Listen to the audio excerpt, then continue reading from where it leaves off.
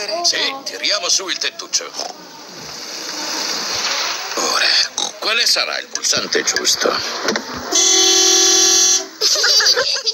Ops, che sciocco sono. Ah, Deve essere questo qui. La macchina nuova ha schizzato Papà Pig. Giochino, papà, quello non è per il tettuccio. Questo pulsante. Ops, no, non è quello. Allora è questo. Ah! Aiuto! Papà Pig ha dimenticato qual è il pulsante giusto. Io e questa macchina non andiamo d'accordo. Proviamo con il pulsante rosso.